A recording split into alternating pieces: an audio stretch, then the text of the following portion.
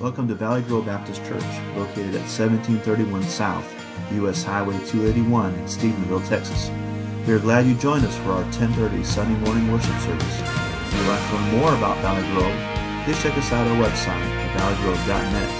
Now, join us for the morning worship service already in progress.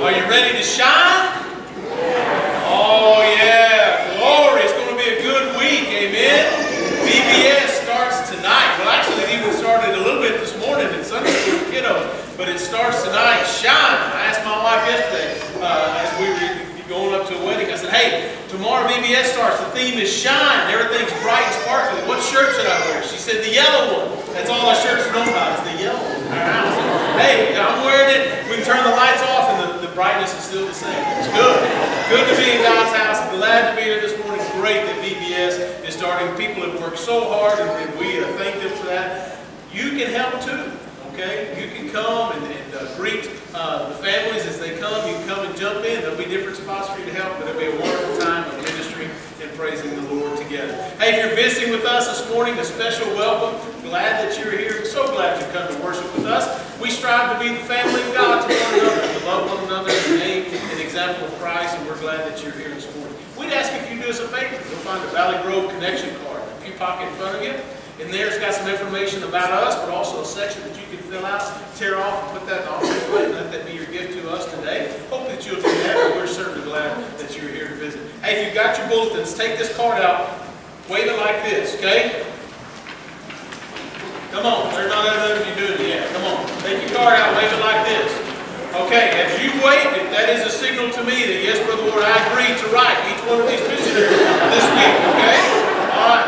Hey, these are just some, but these are the, uh, the ones that we can write to and make summer missionaries that we are helping to partner with. And it's not only partnering with our, with our financial gifts that help to send them. We partner with them in prayer. We want to partner with them in encouragement. And so Brother Mark has given us the addresses. And so, hey, write them a little card, a little note of encouragement and prayer. It would make their day. It would make their day. And we want to bless them in that way. So please take advantage of this card. Write them a quick note of encouragement as they are out there sharing the gospel around the world uh, on, on the behalf of not only Valley Grove, but the kingdom of God. So please take advantage of this, all right? You waved it. You're, you're committed, okay? You're good? All right? Everybody with me? Everybody say. Glory. glory. Amen. Hey, let's stand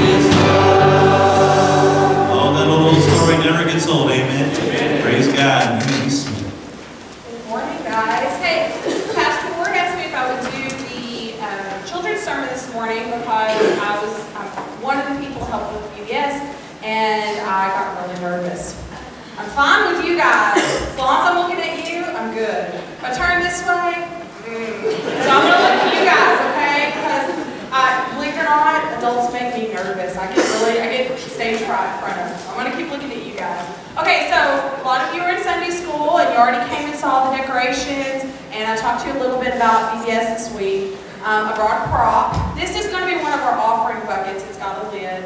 Um, but I flipped it over, and I've got something hidden on the inside. Does anybody want to venture a guess as to what I might have inside the bucket? A water balloon? That's a good guess because you know about our offering, so that's a very good guess.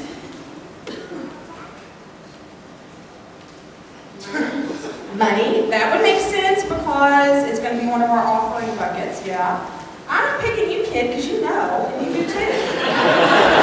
Put your hands down, girls.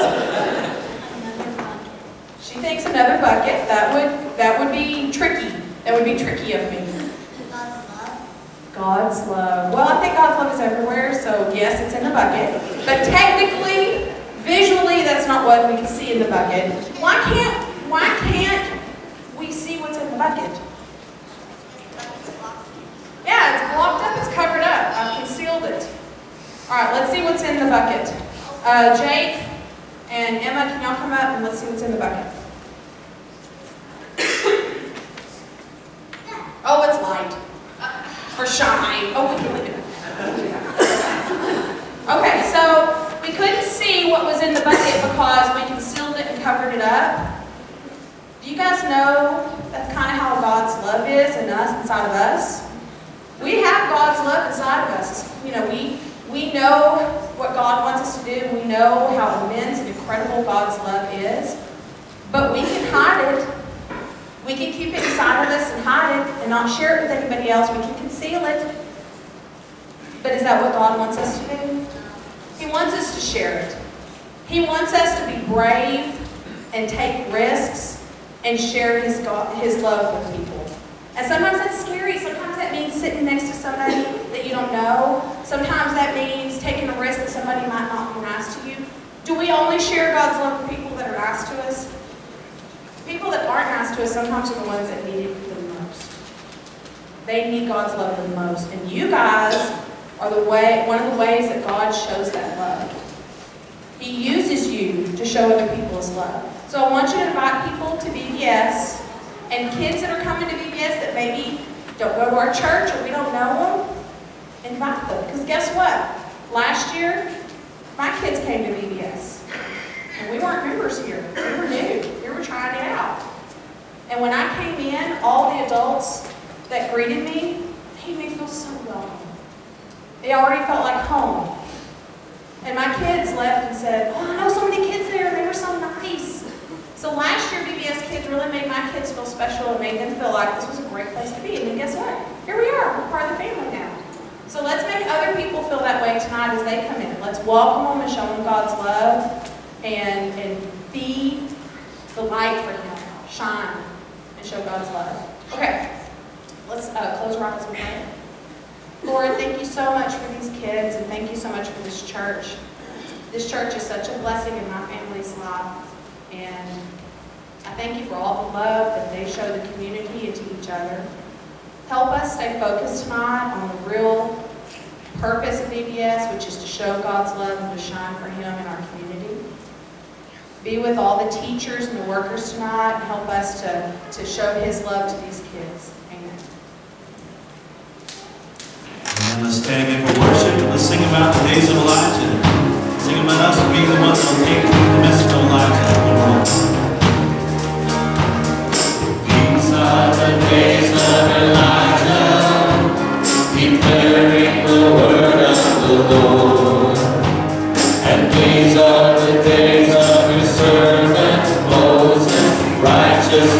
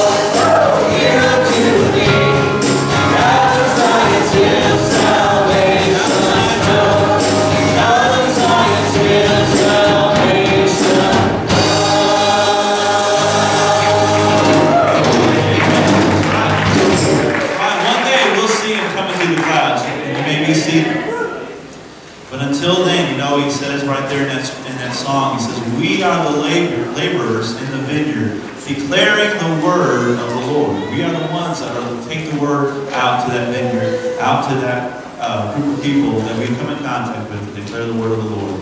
We're going to read our scripture for today, 1 Thessalonians 1, 2 through 8, first part of that. And uh, I'm going to read that for you. Read along with me on the screen. It says, We give thanks to God always for you all, making mention of you in our prayers, remembering without ceasing your work of faith, your labor of love, and patience of hope in our Lord Jesus Christ, in the sight of our God and Father. Knowing, beloved brothers, your election by God, for our gospel did not come to you in the word only, but also in power and in the Holy Spirit and in much assurance, as you know what kind of men we are among you for your sake. And you became followers of us and of the Lord, having received the word in much affliction, with joy of the Holy Spirit, so that you became examples to all in Macedonia and Achaia and all who believe, from whom, for from you, the word of the Lord has sounded forth. And that's what we're supposed to do, sound forth the word. Let's pray. Father God, we thank you, Lord, for your word. We thank you, Lord Jesus Christ, that we have the hope within us. We thank you, Lord, that we have something to tell the lost and dying world. God, thank you for the church Thessalonica and how they were faithful, how they were people of love, and how they were people of work, that they took this, this hope, Lord, to the lost people around them. God, I pray that as we see those around us, God, that we will do what you have given us that to do. God, you've given us talents, you've given us gifts, you've given us the ability, Lord, some of us different abilities, some of us different gifts to spread the gospel to people. God, help us not to hide it in a bucket. Help us not to hide it by being ashamed. Help us not to hide it by being uh, scared. But Lord, help us to share it with boldness. God, even a small light can be seen very far away. And I pray, God, that we can be lights for you wherever we go. For it's in your name we pray. Amen. Let's stand together and sing the song, I Will Follow. It's a challenge to us to follow the Lord Jesus Christ, to trust Him in the path that He's leading us to All your ways are good, all your ways are sure. I will trust in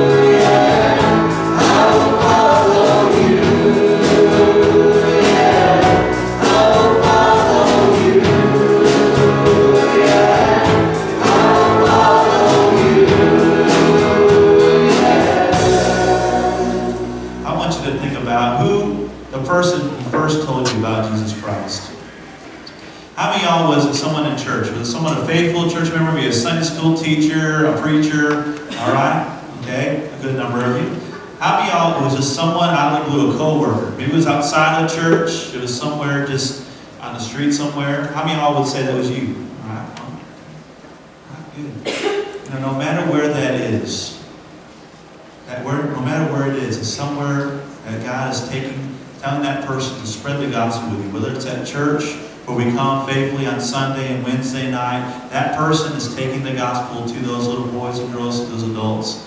But you know, also out on the streets, also in the workplaces, people, we are to take the gospel to those people. And these are testimonies of those who were, the gospel was spread and told to them about, about a, a, a Jesus Christ who died for their sins. And I believe right now, church, that there's a lost and dying world outside these walls. The city of Stephenville, or wherever you are coming here from, that needs to hear about the gospel, needs to hear about Jesus Christ. This next song says He's the God of this city. And it talks about how we're supposed to take that message of Jesus Christ to the, lost and dying world. I want you to think about the person who told you about Jesus Christ and think about how they boldly spoke that message of Jesus Christ to the lost and dying world and how we're supposed to take that outside to the, men, to the lost world.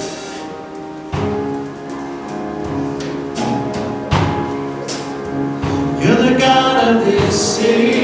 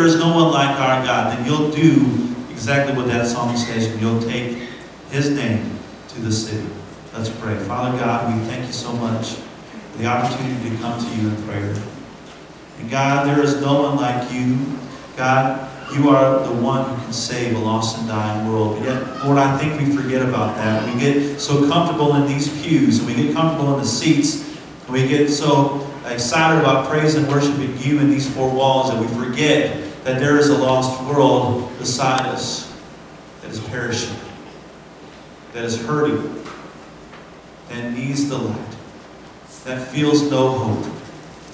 And yet we have the cure for those who feel hopeless. I just pray that you burden our hearts to share the gospel. Lord, whether it's in just telling them that you love them, whether it's just coming alongside them and just encouraging them, praying for them. God, help us not to be complacent. Help us to shine through you. You are worthy, Father. You are the answer. God, forgive us for keeping our mouths shut and being quiet. Help us be quiet no longer. Father, we thank you for what you're going to do today in this place. We thank you, God, for all that you've done. God, I pray for our pastor as he brings forth the word of God here in a few moments, that you give him boldness. God, I pray for this offering. I pray, God, that you bless the gift and the giver today. God, I just pray that people will know the hope that is in us. For it's in your name we pray. Amen. Ushers, you come forward for our offering, please. Ushers, come forward.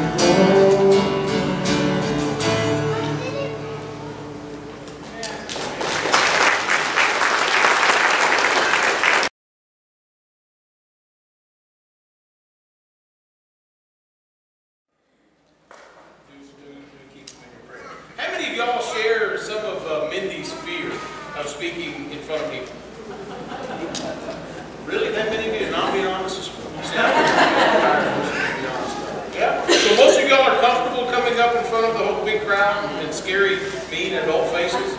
Yeah? No? There you go. So, no, most people are not. You know, there was a time, I wasn't either. There was a time, and when I was a teenager, my father uh, was uh, uh, the superintendent, if you will, of one of the adult classes, uh, Sunday school classes, and so they would have a time together, they'd have a short devotional, sing a song, and then they would break up and, into men's and ladies' classes, and, and so Dad was in charge of bringing the devotional most of those mornings. Uh, but he would, on occasion, uh, designate uh, one of us three boys to bring it uh, sometime during the week. Sometimes he would give us a lot of notice, and sometimes not as much. But I can specifically remember that in those first few times that I'm there speaking to them and, and, and giving a devotional uh, before them, my knees physically knocking together. I mean, that scared. And they were the kindest, gentlest people on the face of the earth, but I could have been roaring lions out there, right? I was just afraid they were just going to eat me up. But God worked on that. God grew me. God developed me. Uh, speaking in front of people is not uh, is not near as scary uh, to me now. In fact, it's generally not not a problem with nerves as far as that goes in any setting.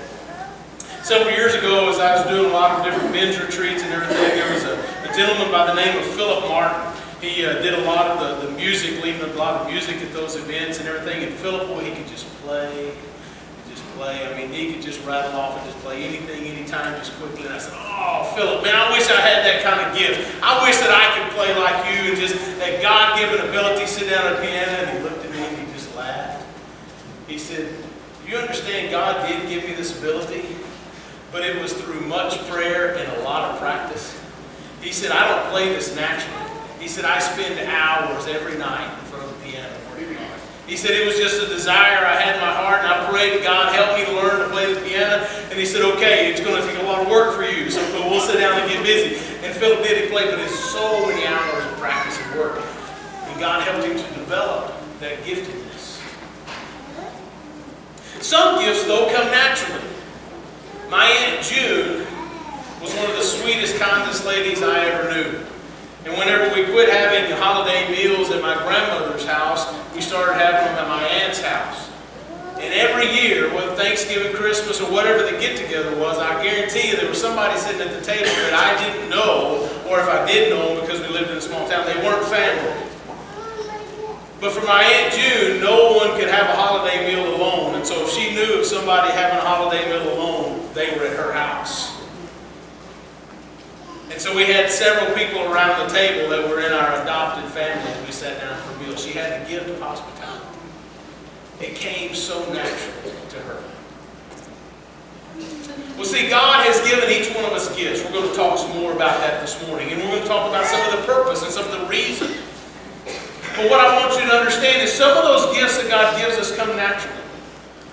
Some of you understand that naturally. You, you can play an instrument much quicker and easier. You can learn it much quicker and easier than anybody else. Any of you have that giftedness? Brother Rob, you watch it? Okay, there's, there's a couple back there. Some of you have that natural gift, or, or other things come very naturally to you. But there are gifts that God gives us that requires us to help develop them, that requires us to grow into them. It's not that it's not a giftedness by God, it is a giftedness, the ability to learn and to grow in that. But He's asking for a little more of us in the process of growth in that area. We remember back again to uh, earlier study in Ephesians as we continue, continue this letter from the Pastor Paul uh, to the church at Ephesus. That he, God made very clear the intent and purpose of the church was to make God known. And we continue to have that umbrella, that understanding there, that the purpose of us as believers, our purpose as a whole and as individuals, is to make God known. And we've been talking about how we're going to go about doing that. This morning we're going to continue in that study of fulfilling that purpose and making God known. As we begin, let's, let's join together in prayer. Gracious Heavenly Father, we give you thanks for this day, excited for all that this week holds. But Father, here and now, we dedicate this time specifically to the study of your. We, we call it holy, set it apart, asking for you to help us set it apart in our minds removing distraction. We got so many things going on, but Father, here in this time, we want to hear from you. So we proclaim this time as yours, and we yield our minds to you. We yield our attention to you.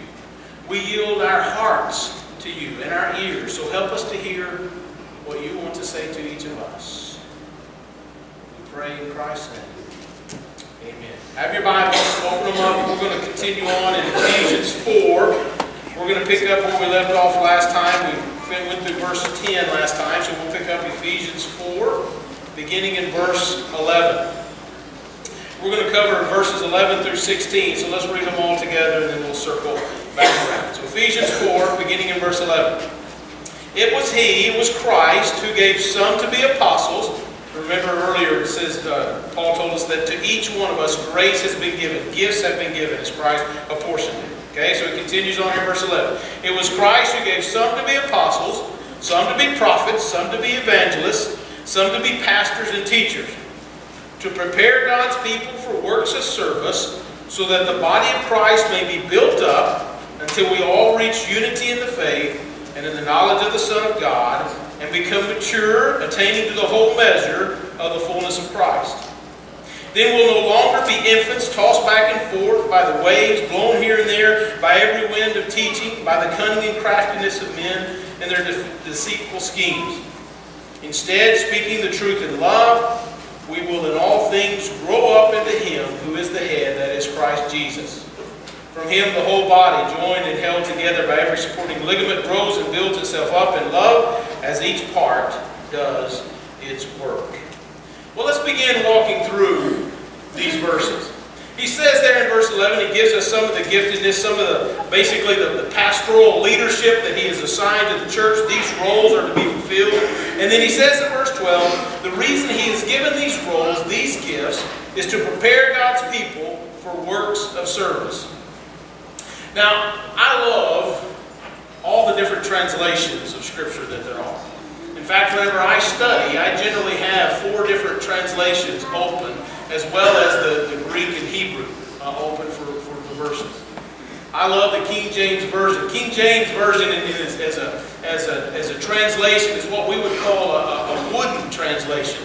In, in, in, other words, it's more word for word. It, it tries to take Greek word translated into English word. And just and so it's, it's just very much that way. And so sometimes we attribute the, the hard reading to the old King James as because of its old English. Some of that, but more so it's because its, its intended purpose is to try to translate word for word as best it can. Okay? Now some translations do it differently. NIV, for example, translates not really word for word as much as it is idea for idea, sentence for sentence, thought for thought. And so it tries to take a thought that is contained in a sentence, and so it may put the wording in a different order, use of different words and descriptions, because it's trying to convey the idea that the original uh, Greek or Hebrew text is trying to convey. So it comes at it from a little different approach. Most of the uh, translations try to come at it from one of those two approaches. Now, there are things other than translations. You have in, in uh, uh, the, the message and in the Living Bible paraphrases. And oftentimes, really particularly with these two, what you find is, is one person, not a committee or team, but one person And they're trying to, to translate the scripture in something that either their children can read or something that's just a little easier to understand for others. They have a little more freedom in conveying thoughts because they're paraphrasing, not translating. Now, it's important to know these things as we begin to study God's Word. It's also important to, to understand that, it, that in man's translations, there are times that, that we, may, uh, we may hiccup uh, in, in those translations, so it's important for us to go back to the Greek uh, and Hebrew text and gain a, greater understanding of what's happening. This is one of those instances where it's tripped up the church in the past. In verse 12, if you have if you have a original King James, not a New King James translation, what's the what is there in your Bible right after the word saints in verse 12? Okay, is there something between saints and for? There's a comma. There's a comma. So in other words, if you read it in that original King James, it reads like this. Well, I'll read it in the that the purpose of the, the leadership of the church is to prepare God's people or equip God's people, comma, works of service, and so on. Well, what's happening in the King James translation there is it is a comma has been inserted, and so it makes it sound like that God has given us leadership to equip God's people, to perform works of service, and to build up the body. And when you go back to the original Greek, though, that comma is not there. And so really this, this reading that should happen there is that God has given us leadership in order to prepare God's people for works of service. It's not that just the, the works of service performed by the leadership, but it is there's a preparation and equipping that happens because all of God's people should be involved in the works of service. Okay? Now that's somewhat of a side note, but I say that uh, as an understanding because if you read it, you see that comment. That pause is probably best understood not to be there. Again, I love all the translations, but I want to read them all together to the, to gain the fullest understanding. And so I say, first of all, hey, let's beware of the comma because what I believe the intention of God's Word is, is in this. I have given roles, I have given responsibilities, and to the, to the responsibility I've given to the church leadership is this, to equip the people for works of service. Now, do the, does the leadership participate in that? Absolutely. But they don't fly solo in it. It's important that we all as believers understand that we have all been commended and commissioned to go and do the works of service that God has planned for us to do. Amen? That's a mirroring of Ephesians 2.10, which it says, For we have been saved uh, by grace through faith. Not of ourselves, a gift from God. But he also tells us that we are God's workmanship created to do the things that he has planned for us to do. Years ago, I was reading and studying there in Acts 6. In Acts 6, it's part of the selections of the early church of, of deacons uh, to help and, and uh, do the service and work of the church. There's a phrase in there that just kind of always, it kind of went sideways whenever it got in my throat. It just kind of like, you know, this doesn't sound great. It doesn't sound right. The, the actually, the apostles said to people, said, choose seven men from among you. He said, you know, because we need help. But the way they said it was this, we don't need to be spending our times waiting tables. We need to be spending our time in, in the Word and in prayer. And what they said was absolutely right. But in some ways, it's like, oh man, it sounded like, well, this has greater importance than this and everything else. Really what they're saying is, this is the role that God has given us. We need to, we need to spend our time and attention in the role that God has given us. But we also understand that these things need to be done. This last Sunday, our deacon body began deacon examinations as we continue in the, in the process of, of moving towards ordination. And, and Brother Buddy Lasser, chairman of Deacons Day, he, he referred to this verse in, in Acts 6, and he, he did so, in, in, if you will, paraphrase it in a beautiful way. He said, you know, in that early church, there was so much going on. So they were growing so fast. And so much ministry needed to be done that the early apostles said, hey, we need some help. We need some more guys to come in here and help us do the ministry that needs to be done that we're just not having time to get to. I said, you know what? That's exactly right. I mean, that's exactly what that verse says and means. And God and His plan knew that that would be the case. There's going to be so much happening in my church, God says. I'm going to give some roles and assign some leadership, but there's going to be so much going on. They can't do it by themselves. It's got to be all believers pitching all in because of all that needs to be done. That's what Paul is saying here in Ephesians 4. It's going to take all believers coming in all together to get all of it done. In church, I want to say first of all, thank you. Because I experienced that kind of participation here at Valley Grove.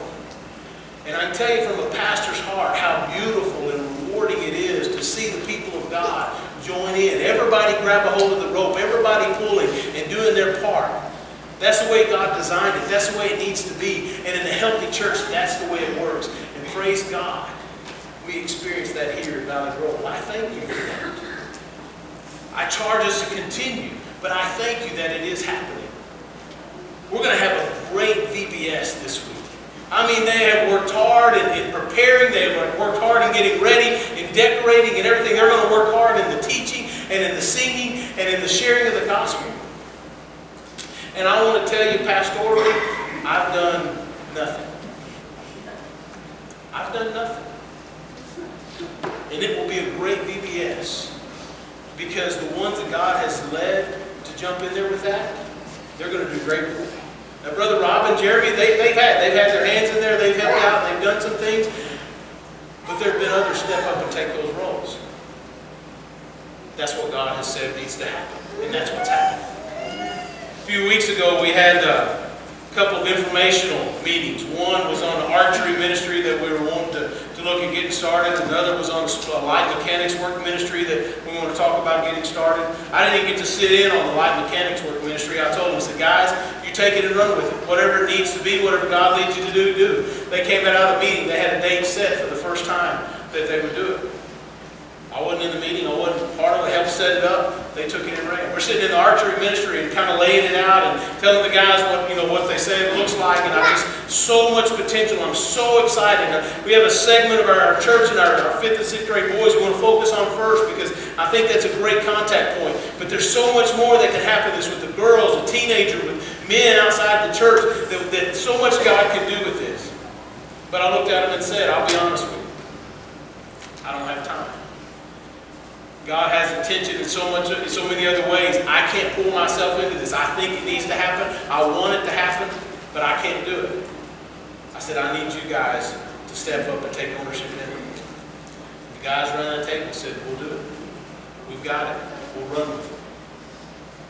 That's the sign of a healthy church. That's the plan that God has laid out. That there's leadership roles, yes, but it's everybody pitching in, everybody getting busy, everybody pulling on the rope, because everybody is needed to get it all done. Amen? How many of you used to watch that show, One versus a Hundred? Anybody? I watched it a few times, not a lot, but there's just one contestant answering a question. There's a, a hundred, a panel of a hundred people up there, and for him to win the ultimate, he's got to defeat the hundred, if I remember right. Yeah? Well, that's a big task for one person to defeat a hundred. Well, think about that in, in terms of the church. What if all that the plan was was for, for leaders in the church to be the only ones that evangelize? Well, instead of having 100, 200, 300 people going out there and inviting people, what if there's just one, two, or three? Coverage is not going to be there. All the, the interactions that, that happen in the hundreds now are just happening in the single digits.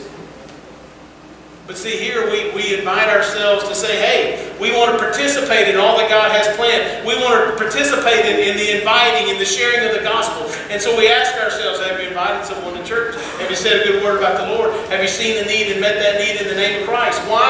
Because all of us are called to participate. We're putting our hand on the rope before. Praise the Lord we do.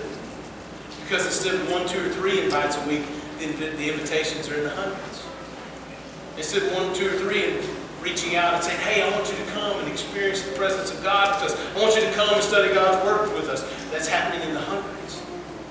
And we see the results of it. God is growing us in a mighty way because I believe we're faithful to the plan that He has. I've mentioned just a few, but you can look around in, in the children's ministries on Wednesday nights or on Sunday nights. You can see it in our Sunday school classes.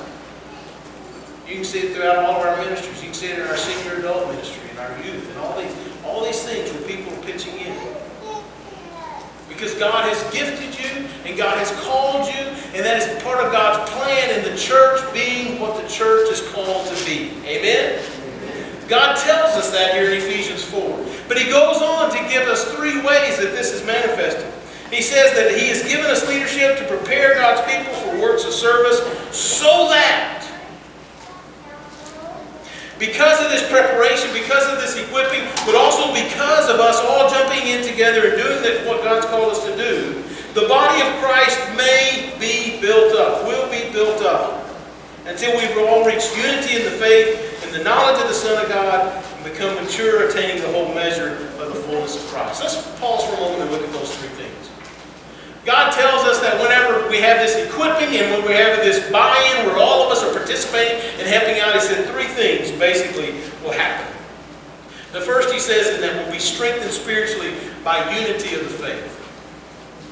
You realize that we're not all here just because we like each other. Amen? You didn't know whether to say amen or not, right? Well, I mean, that's the truth. I mean, that, that's not the reason we're all here. We're not all here because we're Jackets fans. Amen? Or Texans fans. Amen? Why are we here?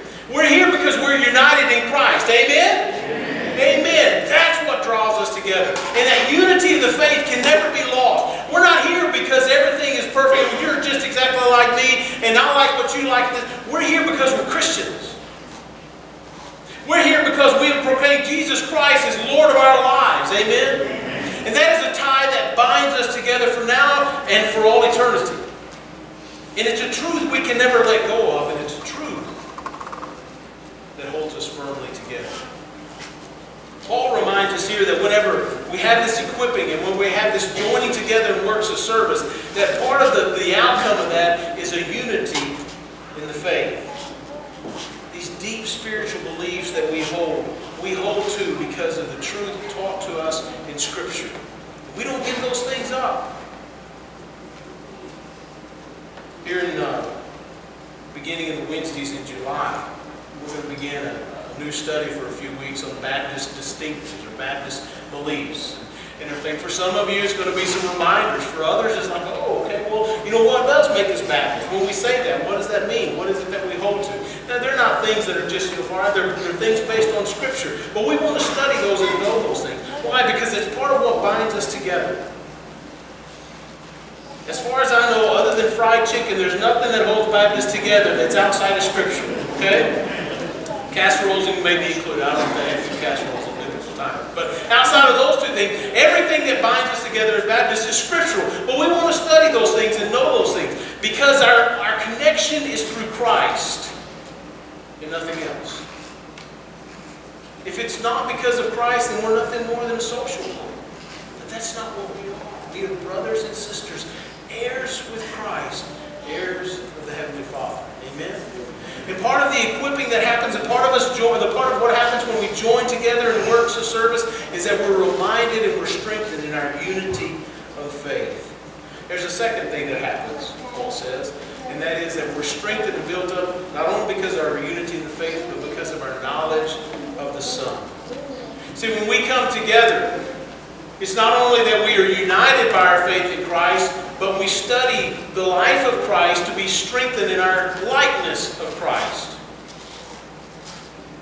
And see, part of the thing that we commit to is memberships, and part of what we commit to in this body of believers is that, hey, we want to grow in our knowledge and likeness of Christ. Now, for some of you, that's one of the places where you need to work on. That's one of the places where you kind of you kind of pull back. Attendance in worship, Good. Claiming of, of Christ as Lord of your life? Good. That unity of the faith? That's good. But knowledge of the Son, you kind of said, hey, you know, I've got good enough knowledge. I'll come what I get in worship will be good enough, but I'll just kind of stall right there. That's not what calls what Paul calls us to be in the church. He calls us to be increasing, to be strengthening in our knowledge of the Son, which in other words means he calls us to be students. He calls us to be studiers of God's Word. I don't know what the priority list in your life is of the reading of God's Word. I hope and pray that it's high. And if it's not, I hope today is a reset for you that says, you know what, I'm going to raise the priority of being a student of God's Word. Why? Because being a student of God's Word increases our knowledge of the Son, increases the likelihood of that likeness in us. How can we mirror the life of Christ if we don't study the life of Christ? How can we mirror the ways of God if we don't study the ways of God? We need to be a people of the book. We need to be readers of God's word and doers of God's word, but we need to be students of God. Amen? I mean, that's what the word disciple means, right? Is to follow along behind someone, study their ways and their lives, and then strive to live like them. If we're going to be calling ourselves disciples of Christ, we need to be disciples of Christ. I need to be a better student of God's Word. You need to be a better student of God's Word. It's part of that strengthening that God calls us to do and to be. Never be satisfied with how much you know of God's Word. Because I promise you there's more to learn. And not just learning of His Word, learning of Him. I've told y'all this before. One of the things I love about premarital counseling is sitting down and telling the couples, hey, listen, you're going to know this person, you're made, unlike anybody else in the world. And they're going to know more things about you than anybody else in the world is. That's part of that beauty of two becoming one. They're going to know things about you, how you tick, what you like, what you don't like. And it's such a beautiful thing when that comes together. And you get to love each other out of that knowledge because you've studied your mate. You know how they tick. You know what they like. And then you live out of that love and knowledge. Really, that's just supposed to mirror how we live with God. God, I want to study your ways. I want to know you. What do you like? What do you dislike? Because I want to live and love in those things. So we need to study God. To know those things about Him. And to live out of that knowledge and out of that love. There's a third thing that Paul says happens whenever we join together, the equipping of the church and the joining together in works of service. And that he says, that is, he says maturity happens. Maturity happens. Maturity in our faith. Look at verse 14 again with me. He says, Then we'll no longer be like infants, tossed back and forth by the waves, or blown here and there by every wind of teaching, and by the cunning and craftiness of men and their deceitful schemes. Times past, if I preached on this, I'd grab one of my kids whenever they were smaller and everything, and I said, You know, as me, a big adult man and everything, I take this child, it's not hard for me to influence them moving. I can move them from side to side. Kind of such as it is when that little child gets in the ocean and they get out there in the waves and the waves hit them and they go stumbling back because they just don't have that firm footing. They don't have that, that maturity in their body to be able to withstand the waves. But as they grow in their bodies and they get stronger, and as adults get out there, they learn to brace themselves and they see the waves coming and they, they can withstand them. Because there's a maturity that's happened in their body. Well, such as it needs to be in our faith, Paul says. We need to be maturing in our faith so that we're growing, so that we can brace ourselves whenever the, the, the, ways of the world come at us, or whenever this new teaching that is actually contradictory to God's Word comes at us. We stand strong because we know what it is. We have matured in our faith and our understanding of God, and so we can withstand this false teaching.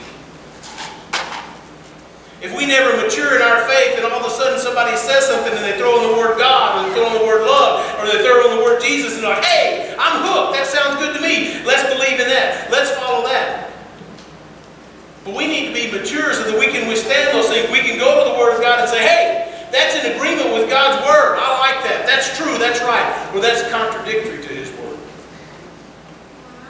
Flipping through the channels late one night a few weeks ago, and, and there's a uh, worship time on, uh, on TV, 2 or 3 in the morning. Basic theme of the whole hour was if you'll plant a seed of, of $1,000, you'll see that blossom and grow in your life in exponential ways. But you need to plant that seed. I was watching that same program a, a couple weeks later, and the message was still the same. Now, there's a part of Scripture God says, Test me with your tithes and offerings and see if I can't be trusted, see if I don't throw open the storehouses of heaven? Absolutely. Beautiful truth in God's Word. Test Him in your tithe and see if He does not provide in ways that you can't imagine. God's Word is true in that. But you know what? That was the only message of that program.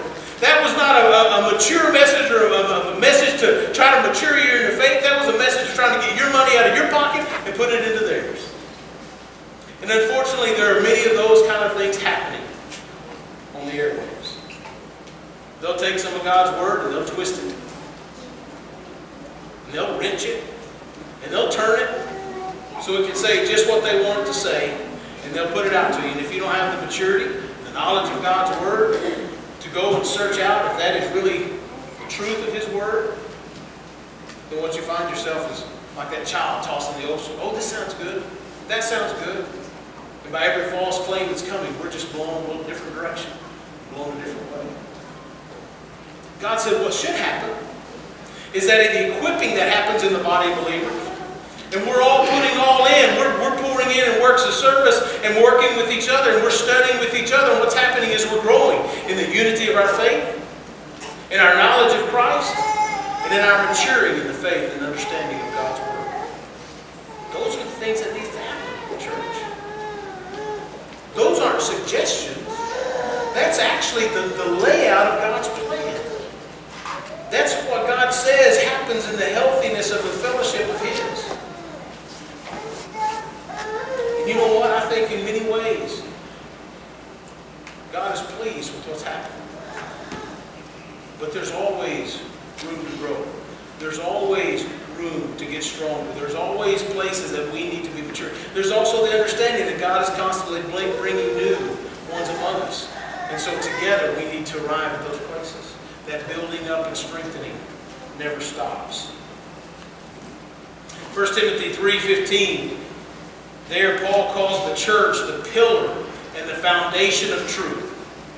It's this idea that, that the church is, is the guardian of the foundation of truth. Well, if the church doesn't know the truth of God, how in the world is it going to be the foundation of truth for the world to build on? How in the world is it going to be the guardian of that truth for the world to come to see and know and learn? Paul committed the Bereans because when after he would preach, they would go home at night and study the scriptures to see if what he said was true. I give you permission every Sunday. Go home and search the scriptures. And if I have misspoke in any place, please let me know. I would be tickled to death to hear from you. Not because I speak perfectly. I know I speak imperfectly many times. But I want us as a church to be so about God's Word and seeking the truth that we go and search His Word to verify or affirm the truth being told to us. We need to be the students God's Word in that way. Why? Because the world seeks to rob us of that truth. The world seeks to, to tell you there are loopholes, there are different ways to God. It's, it's many paths to the same mountaintop, whatever metaphor they want to use. But God's Word tells us very clearly that Jesus is the only way. The only way that a man will be saved is if he calls on the name of Christ to forgive him of his sins, be Lord of his life. There's no other name by which people are saved except the name of Jesus. Amen. And these are truths that we have to hold firmly to, that we have to know and we have to claim. Well, let's circle back around. We began this by talking about gifts. Each one of you that has claimed Jesus Christ as Lord and Savior of your life have been given at least one spiritual gift. And of that spiritual gift or all the gifts that God has given you, you are responsible to the Lord for the use of that gift. He's given you that gift for the purpose of fulfilling the purpose of the church, that is to making God known.